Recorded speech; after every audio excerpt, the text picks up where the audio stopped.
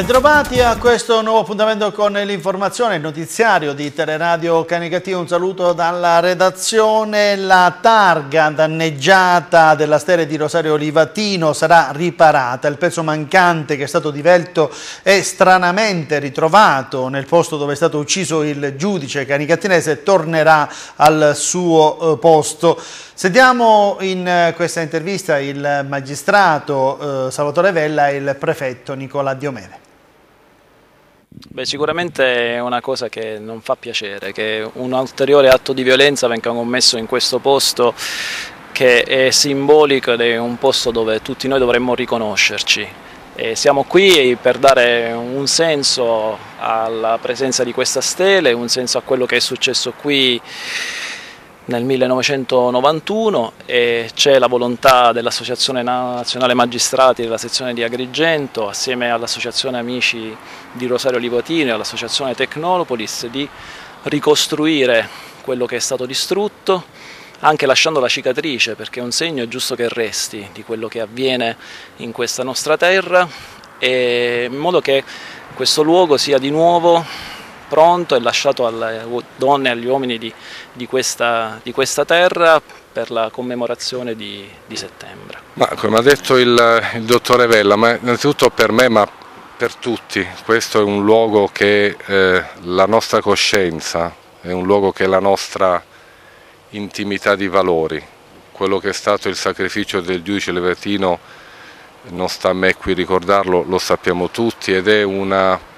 persona e non un personaggio, una persona che è assolutamente nota a livello nell'intero territorio nazionale. Aggiungo che eh, c'è stato una, come dire, proprio emotivamente una corsa, una partecipazione da parte di eh, diverse realtà a intervenire per recuperare l'integrità di questa nostra coscienza in questo luogo.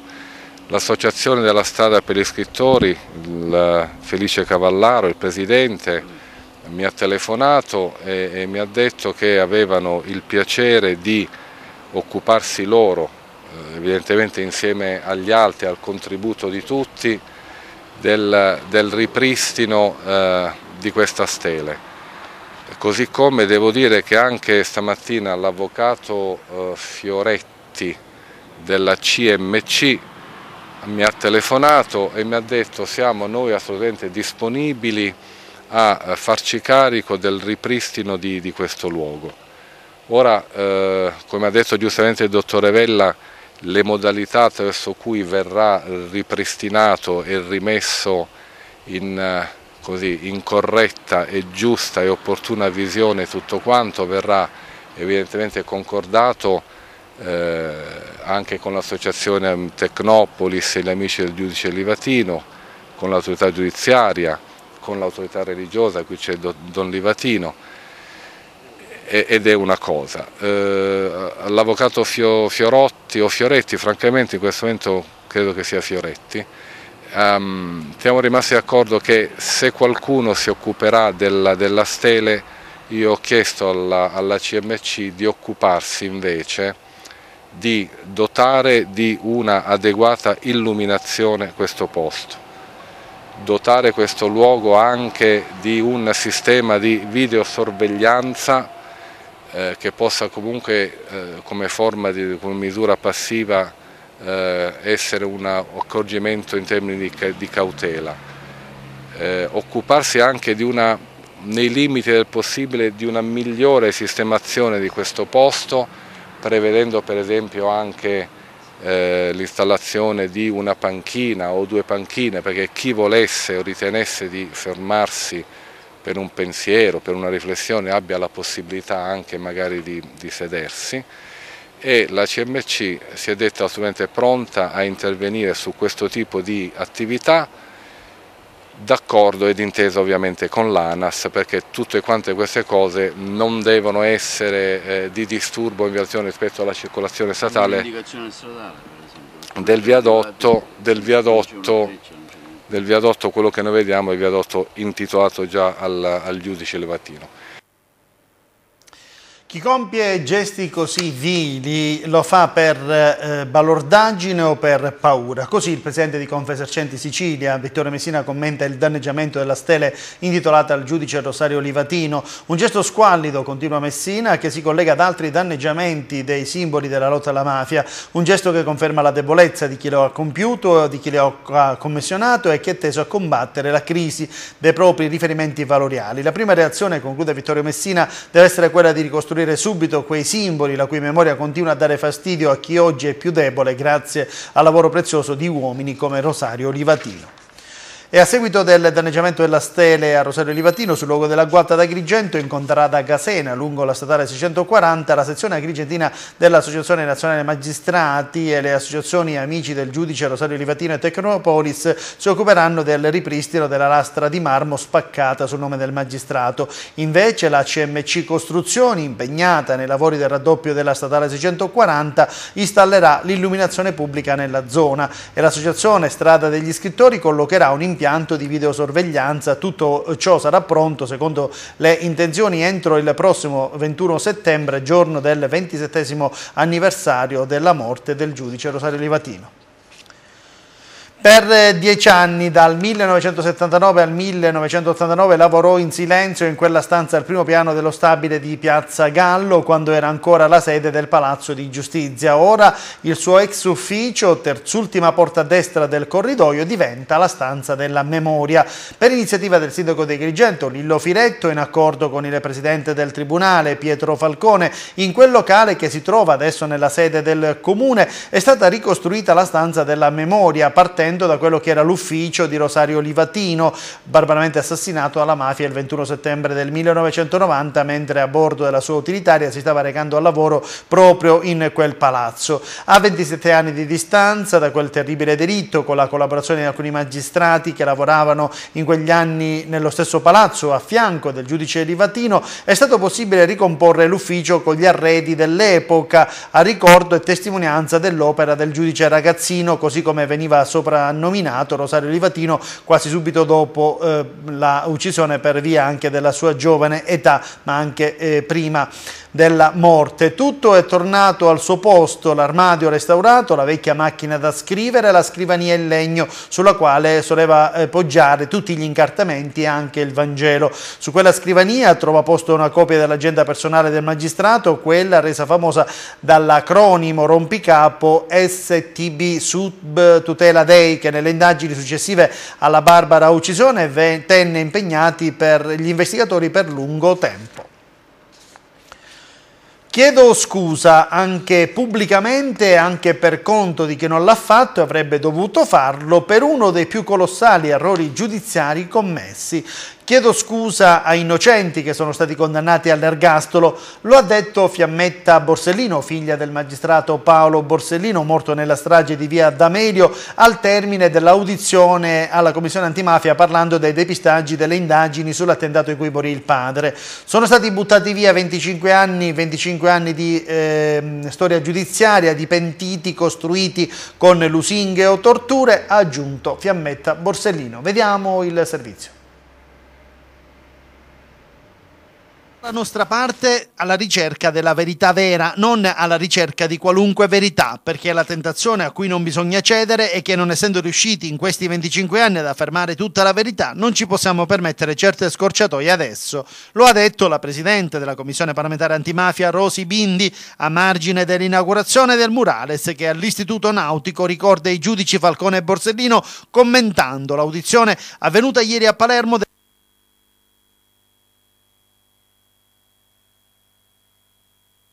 figlia minore del magistrato Fiammetta Borsellino. Il depistaggio è un momento importante di questi 25 anni. Una volta scoperto si è andati avanti. Se ci sono aspetti da chiarire ancora lo faremo. Aggiunto la Presidente Bindi, continueremo ad approfondire con elementi in nostro possesso e con altri che acquisiremo facendo audizioni e richiedendo documenti come Commissione antimafia senza sostituirci alla magistratura in sede giudiziaria. Fiammetta ha l'autorevolezza per dire queste cose, anche perché fino adesso non ha mai detto niente per cui quello che dice è Vangelo. La ricerca della verità si fa sempre. Lo ha detto Rita Borsellino commentando l'intervista rilasciata dalla nipote Fiammetta Borsellino che ha parlato di 25 anni di schifezze e menzogne che ieri è stata ascoltata dalla commissione antimafia. Rita Borsellino è in via D'Amelio dove il fratello magistrato è stato ucciso il 19 luglio di 25 anni fa con cinque agenti della Polizia di Stato che lo scortavano, Agostino Catalano, Emanuela Loi, Vincenzo Rimuni, Walter Cosina e Claudio Traina. Parlo spesso di coriandoli di verità perché questa ricerca è diventata un tema carnescialesco, ha aggiunto Rita Borsellino. Cosa mi aspetto? Cosa mi devo aspettare? Che ci sia verità. Abbiamo questa mania dei numeri, mi aspetto che il ventisesimo anniversario, il prossimo, lo possiamo celebrare come l'anno della verità.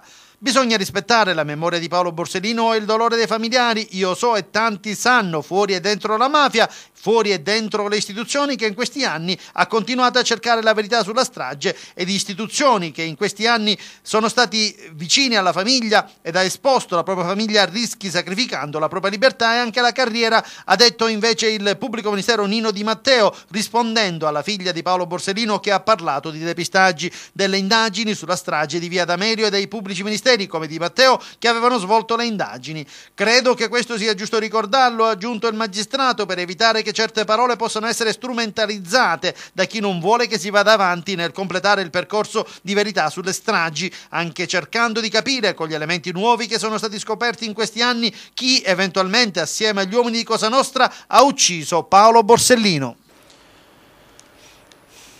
La mafia avrà una fine, tuo Piero, è la convinzione che il Presidente del Senato Piero Grasso esprime in una lettera all'amico Paolo Borsellino nel ricordo della sua scomparsa. In questi 25 anni, rimarca Grasso, parlando eh, della strage di via D'Amelio, si è fatto tanto anche se non abbiamo quella Sicilia completamente libera dalla mafia che sognavamo allora. Il Presidente Mattarella è un punto di forza dell'unità nazionale, di coloro che non si arrendono, abbiamo giovani che vanno a coltivare terreni confiscati, cittadini che che si rifiutano di pagare il pizzo. Tutto questo è il frutto del sacrificio borsellino e degli uomini del pool antimafia. Davanti alle bare di questi uomini, prosegue il Presidente del Senato, dobbiamo impegnarci tutti a continuare la loro opera con senso del dovere dello Stato. La cronaca, i carabinieri della stazione di Licata hanno arrestato in fragranza di reato un gommista di 33 anni e deferito è stato in libertà alla Procura della Repubblica di Agrigento tre suoi familiari, tutti responsabili in concorso di furto aggravato di energia elettrica. I militari dell'Arma, collaborati dal personale dell'Enel, hanno effettuato un'ispezione presso l'officina di proprietà del 33enne licatese dove veniva accertata l'esistenza di un allaccio abusivo alla rete pubblica eh, che eh, oltre ad alimentare abusivamente l'attività commerciale si estendeva verso la limitrofa abitazione di proprietà dei tre familiari del commerciante ricatese. L'arrestato su disposizione dell'autorità giudiziaria è stato posto agli arresti domiciliari. I carabinieri di Ravanusa nel corso di un controllo di polizia hanno arrestato un uomo di 50 anni di Sommatino che da una verifica al terminale è risultato sottoposto alla misura di prevenzione della sorveglianza speciale con obbligo di soggiorno nel comune di residenza. I militari hanno sorpreso il cinquantenne nel centro abitato di Ravanusa in compagnia di un altro soggetto del luogo già noto alle forze dell'ordine. Alla vista dei carabinieri il sommatinese ha tentato di eludere il controllo dandosi alla fuga con la propria autovettura ma è stato bloccato dopo un brevissimo inseguimento dalla dalla pattuglia dei carabinieri. L'arrestato quindi è stato condotto in caserma, dopo le formalità è stato posto a disposizione dell'autorità giudiziaria. A conclusione di articolate attività investigative e patrimoniali coordinate dalla Direzione Distrettuale Antimafia di Caltanissetta è stata data esecuzione al decreto di sequestro ai fini di confisca di attività economiche, beni mobili e immobili, assicurazioni e conti correnti postali e bancari emesso dal Tribunale di Enna a carico di Gabriele Giacomo Stanzù per un valore complessivo di 11 milioni di euro. I dettagli. Colpo grosso della Guardia di Finanza a Piazza Armerina, Aidone e Assoro in provincia di Enna. A conclusione di articolate attività investigative patrimoniali coordinate dalla Direzione Distrettuale Antimafia di Caltanissetta, svolte congiuntamente dai finanzieri del GICO, del Nucleo di Polizia Tributaria di Caltanissetta e dai carabinieri del Nucleo Investigativo del Comando Provinciale di Enna, coadiuvati nelle fasi esecutive dai colleghi della compagnia Carabinieri di Piazza Armerina, è stata data esecuzione al decreto di sequestro ai fini di confisca di attività economiche economiche, beni mobili e immobili, assicurazioni e conti correnti postali e bancari, emesso dal Tribunale di Enna a carico di Gabriele Giacomo Stanzù, 67 anni detenuto, e dei congiunti Elisabetta Buttaccio Tardio, Domenica Stanzù, Benedetta Stanzù, Nicola Antonio Stanzù, Carlotta Conti Mammamica.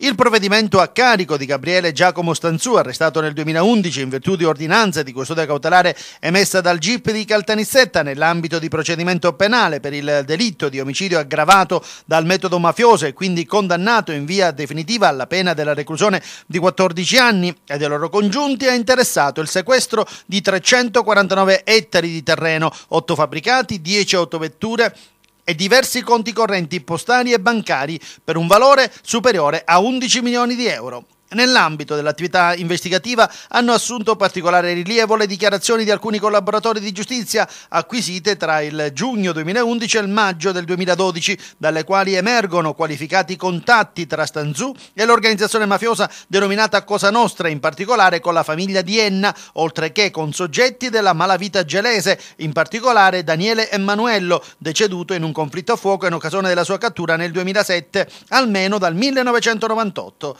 Tali acquisizioni hanno dimostrato la sussistenza di idonei elementi indiziari strumentali ad un giudizio di pericolosità sociale qualificata ascrivibile a Stanzù quale appartenente all'associazione mafiosa. Il Tribunale di Enna, misure di prevenzione, riunito in Camera di Consiglio, pienamente concordando con l'impianto accusatorio della direzione distrettuale antimafia di Caltanissetta, ha emesso il provvedimento di apprensione materiale dei beni sequestrati e la successiva immissione degli stessi in regime di amministrazione da parte dello Stato.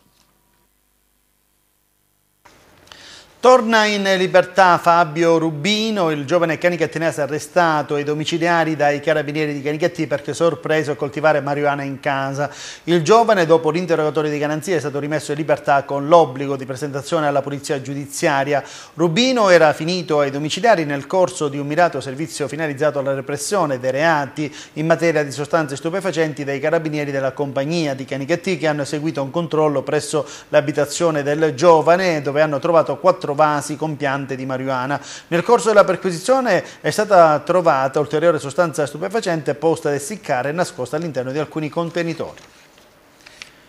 Resta ai domiciliari l'ottantenne arrestato dai carabinieri per l'incendio che ha provocato nei giorni scorsi tanto panico e danni a Sciacca, lo ha deciso il GIP del Tribunale. L'anziano è stato bloccato dal, e arrestato da un maresciallo dei carabinieri libero dal servizio, sarebbe stato trovato in possesso di due accendini di cui non avrebbe saputo giustificare il possesso. Slitta per la seconda volta, sempre a causa dello sciopero degli avvocati penalisti, l'udienza in Cassazione a carico dell'ex sindaco di Lampedusa Bernardino De Rubeis, che in caso di conferma della sentenza d'appello tornerà in carcere per scontare una condanna a sette anni e tre mesi di reclusione per l'accusa di concussione. De Rubeis è accusato di aver costretto gli imprenditori Sergio Vella e Massimo Campione a pagare una tangente 7.000 euro il primo, 50.000 il secondo, nella speranza che poi sia rivelata vana di sbloccare il credito milionario che le loro ditte avevano contratto col comune di Lampedusa.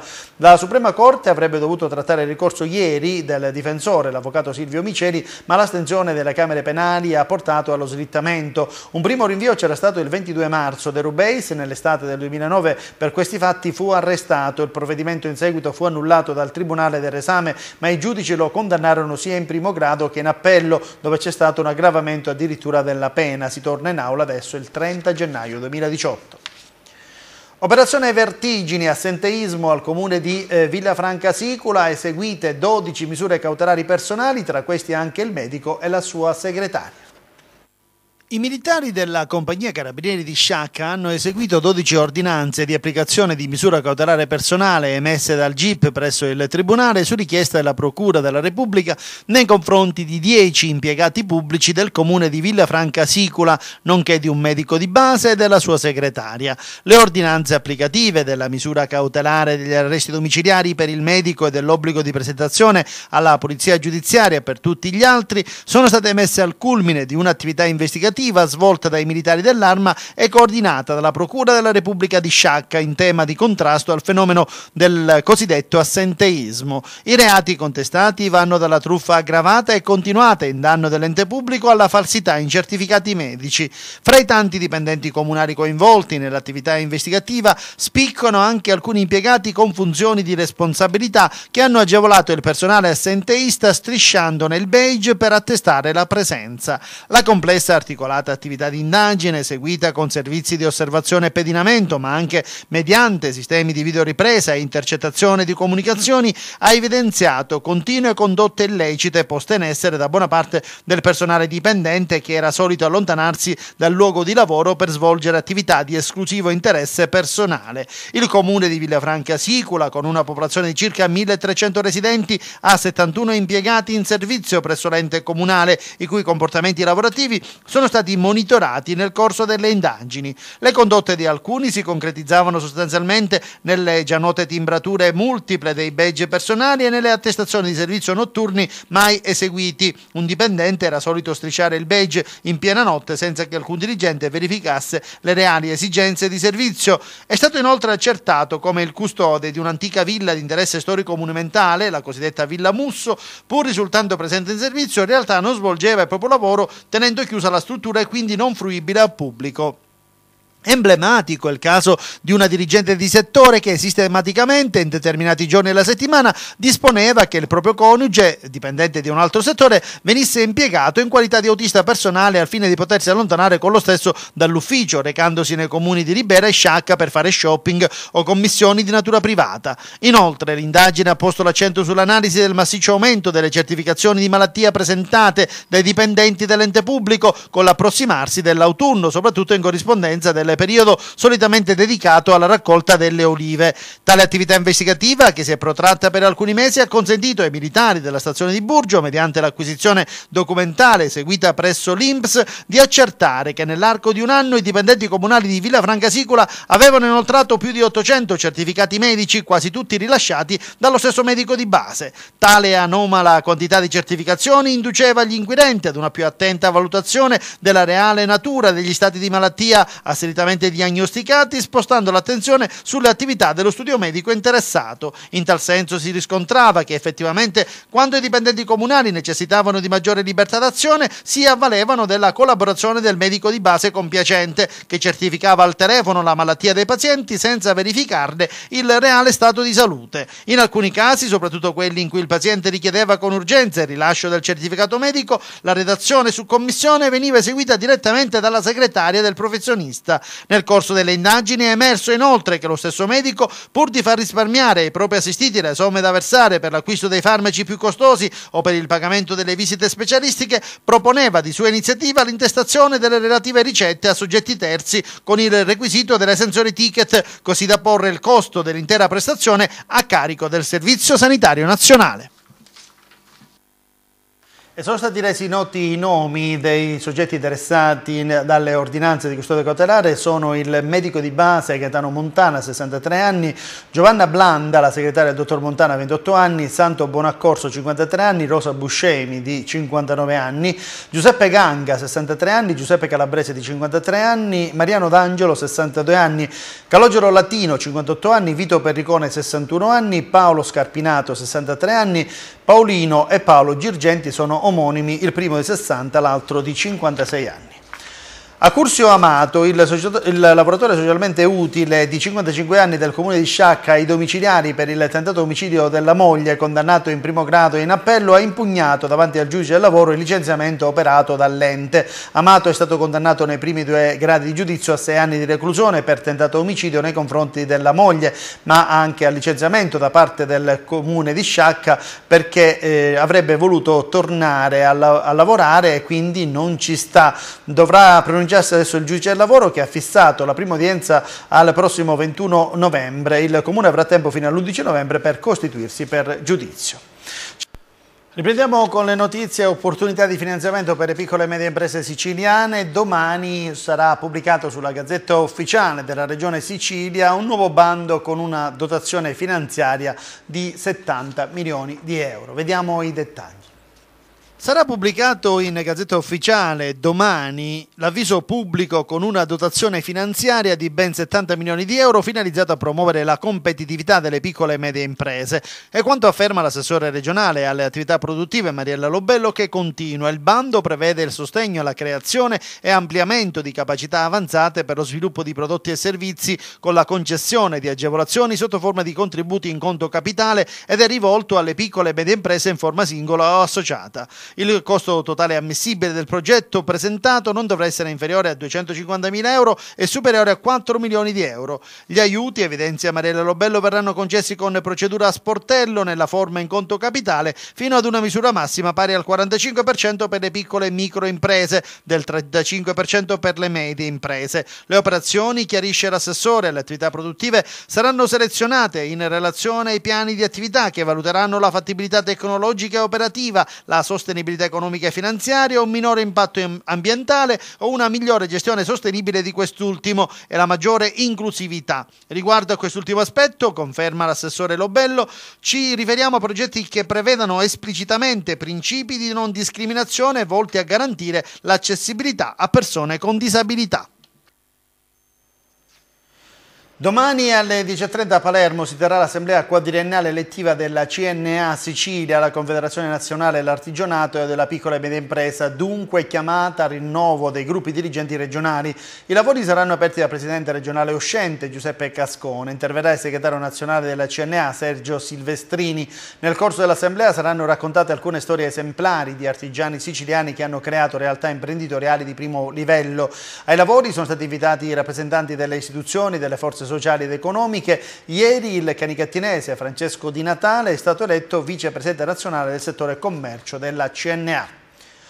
I nostri conti sono a posto, lo ha dichiarato il Presidente della Regione Rosario Crocetta dopo il giudizio positivo di parifica espresso dalla Corte dei Conti che ha rigettato la proposta di bocciatura del bilancio consultivo 2016 dal procuratore eh, Zingale, eh, quindi avanzato proprio dal procuratore della Corte dei Conti. In questi anni, prosegue il Presidente Crocetta, abbiamo fatto uno straordinario lavoro di risanamento portando un bilancio che nel 2016 presentava un disavanzo di meno di 2 milioni miliardi di euro e oltre 2 miliardi e 700 milioni di euro di debiti non pagati in una situazione in cui negli ultimi tre anni si è avuto oltre un miliardo di avanzo dopo aver pagato i fornitori. Il nostro governo ha concluso il Presidente Crocetta, ha salvato la Sicilia, ne siamo orgogliosi. Quindi a questo punto Crocetta ha detto che è pronto a ricandidarsi.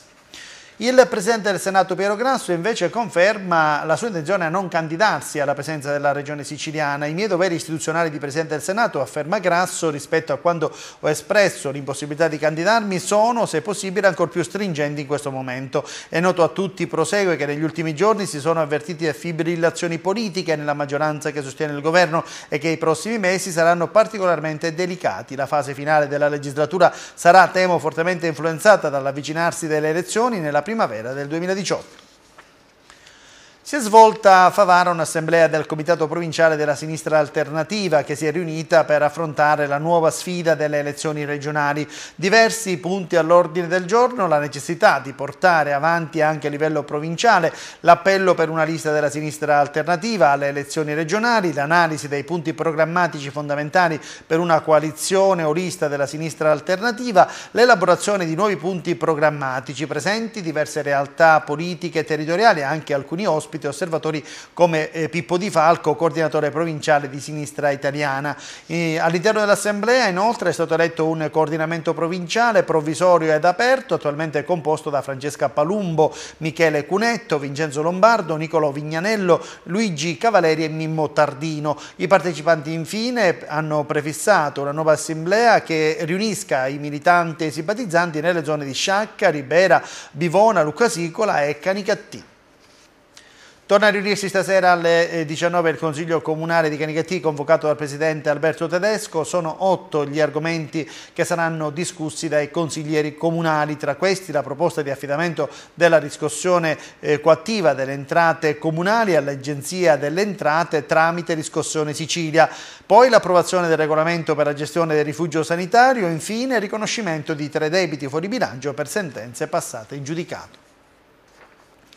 Adelia si è dimessa, l'assessore con delega alla solidarietà sociale, famiglia, pari opportunità, Maria Concetta Giuliana. Al suo posto subentra Letizia Strazzeri, psicologa che ha accettato la nomina prestando stamattina giuramento previsto dalla normativa vigente. Nella sua lettera inviata al sindaco, l'assessore Giuliana ha spiegato che non potrà più per sopraggiunti impegni professionali dedicare il suo tempo e le sue energie all'attività pubblica. Chi mi conosce bene, si legge nella nota, sa quale impegno e abnegazione dedico in tutto quello che faccio. Questo mio nuovo assetto professionale richiede ancora più tempo e risorse di prima, mi porterà certamente a sottrarre tempo e spazio alla delicata funzione che mi ha affidato il sindaco. Ecco perché con eh, mio grande eh, disappunto ho preso questa eh, decisione con grande rammarico e eh, quindi ho dovuto dimettermi al suo posto, come detto, Letizia Strazzeri.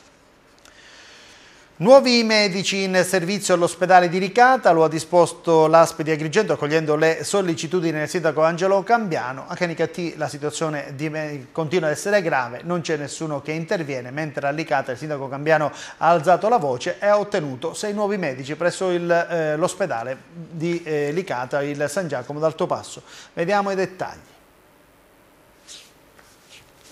L'azione di personale presso il presidio ospedaliero San Giacomo d'Altopasso di Ricata viene potenziata con l'immissione in servizio di un nuovo dirigente medico-chirurgo, un anestesista, un pediatra e tre cardiologi. I provvedimenti deliberati dalla direzione strategica dell'azienda sanitaria provinciale di Agrigento, guidata dal dottor Salvatore Lucio Ficarra, hanno l'obiettivo di incrementare l'efficienza operativa ospedaliera e far fronte alla contingente carenza organica acuita durante la stagione estiva dalla maggiore densità di abitanti a Licata. Gli incarichi a tempo determinato determinato avranno la durata di sei mesi e si inseriscono nel quadro delle azioni previste per fronteggiare il temporaneo blocco regionale delle assunzioni. La convocazione per l'affidamento dell'incarico di chirurgo è prevista per lunedì mattina 24 luglio presso i locali dell'area gestione risorse umane dell'ASP, mentre quella per il profilo di anestesista si è già conclusa con successo. Immediatamente dopo sarà la volta dei cardiologi e del pediatra. L'urgenza dei provvedimenti stabiliti dalla direzione ASP, oltre a mirare ad appianare le criticità emerse e a incrementare costantemente gli standard qualitativi dell'offerta sanitaria scaturisce da un continuo dialogo costruttivo con il comune di Licata e con il suo sindaco Angelo Cambiano.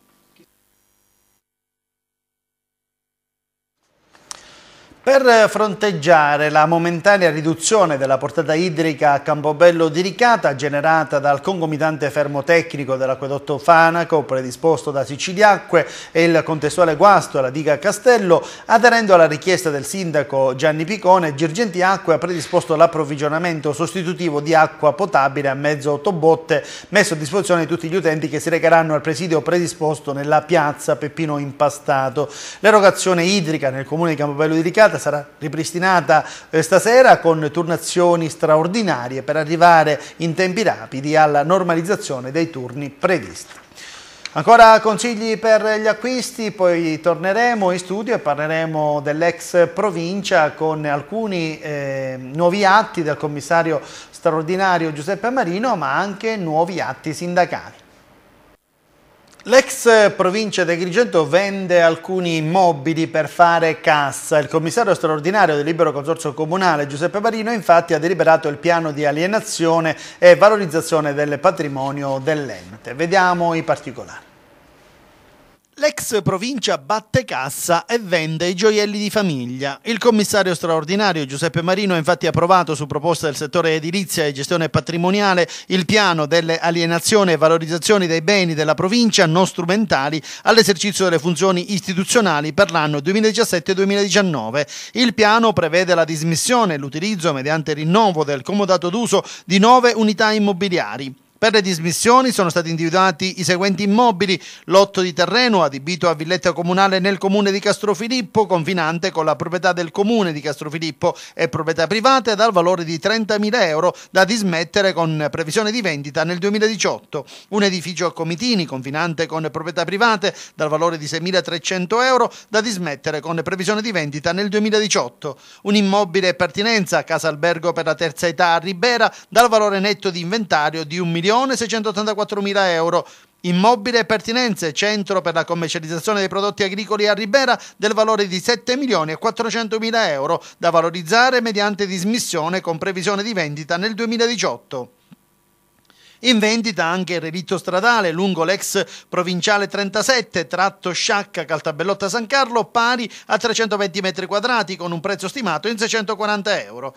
Il piano contiene anche dei lotti da destinare per operazioni di riqualificazione e recupero mediante gestione in locazione o concessione anche con mutamento di destinazione d'uso, un immobile a Bivona nella via Roma, valore netto di inventario 681.000 euro, incomodato d'uso dal 2017, da valorizzare mediante cessione e locazione o concessione a medio o lungo termine. Immobile a Cattolica Eraclea, ex casa cantoniera, ubicata lungo la provinciale 29, del valore di 36.400 euro da valorizzare mediante cessione cessione, locazione o concessione a medio e lungo termine non superiore a 50 anni con rinnovo del comodato d'uso dal 2017.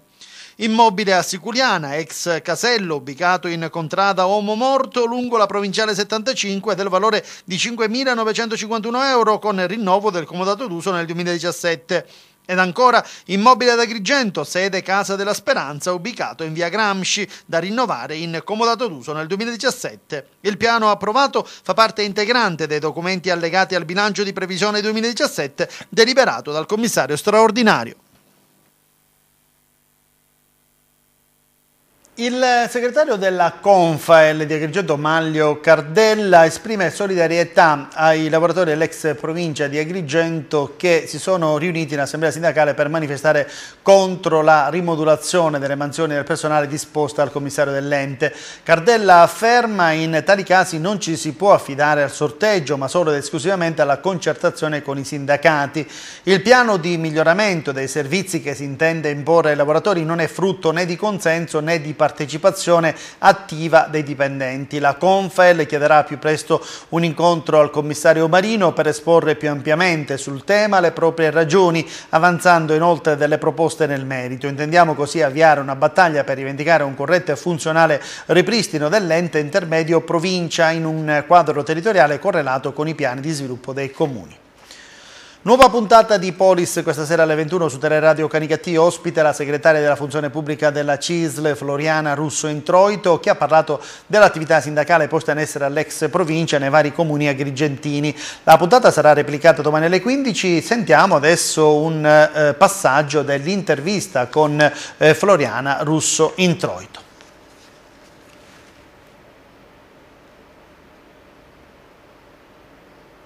I dipendenti delle province in questo momento, come sapete, stanno vivendo un periodo molto particolare, determinato dal fatto che c'è una vacazio legislativa e soprattutto un ritardo nell'approvazione della legge regionale.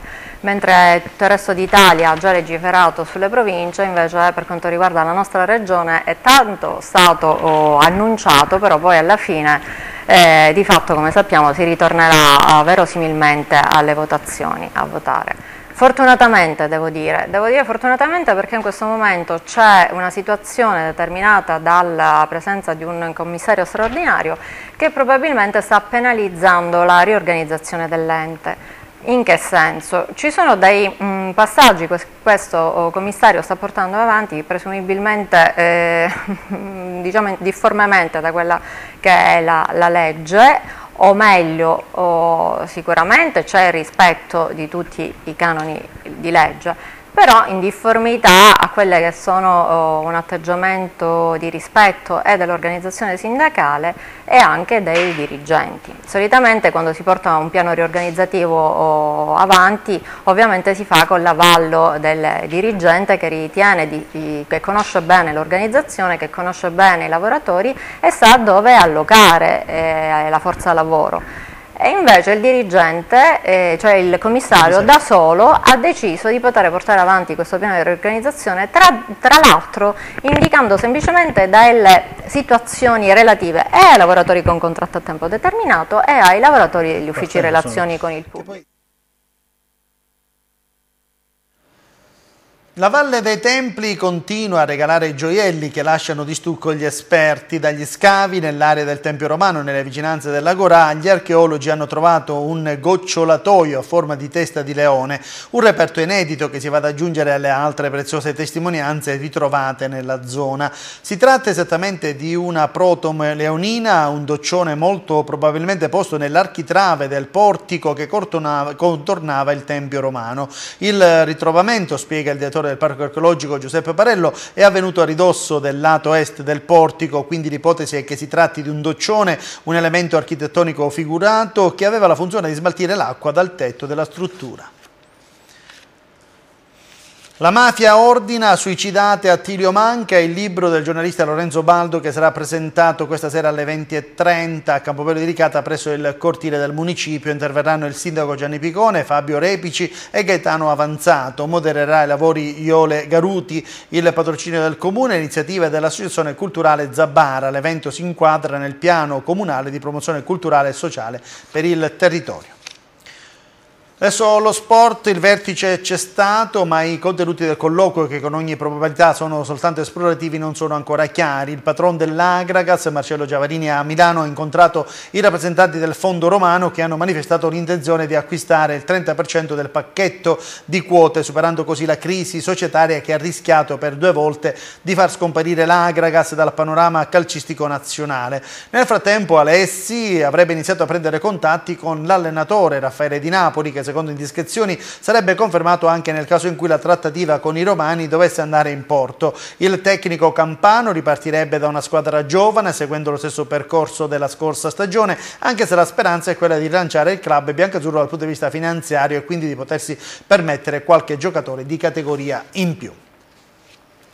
Il Licata Calcio ha ingaggiato altri due calciatori, confermando così di avere intenzione di allestire una rosa competitiva. In giallo-blu sono arrivati l'attaccante Vincenzo Agate e il centrocampista Giuseppe Pira. L'estroso attaccante Agate vanta nel suo curriculum diverse stagioni in Lega Pro e Serie D. Nello scorso campionato ha indossato la maglia del Mazzara andando a segno ben 12 volte. Per Pira invece, centrocampista licatese, si tratta di una conferma. E domani sera, a proposito di eccellenza, ci sarà eh, a Canicattì eh, la presentazione del Canicattì Calcio, il nuovo Canicattì Calcio che si presenterà alla città eh, con i nuovi elementi, eh, con gli elementi che sono stati riconfermati, una squadra al 50% rinnovata, quella che sarà a disposizione di mister Sebi Catania con il raduno a partire eh, dal 20, eh, da, do, da oggi praticamente, mentre ieri c'è stato uno stage per per giovani calciatori. Il raduno quindi partirà oggi e nel pomeriggio allo stadio Carlotta Bordonaro. La squadra è già a disposizione eh, del mister. Domani la presentazione ufficiale, poi da lunedì si inizierà a lavorare sodo per preparare il prossimo campionato di eccellenza partendo dalla fase preliminare della Coppa Italia. Ed è tutto, lo sport conclude questa nostra edizione del telegiornale, grazie per averci seguito, appuntamento alle prossime edizioni, arrivederci.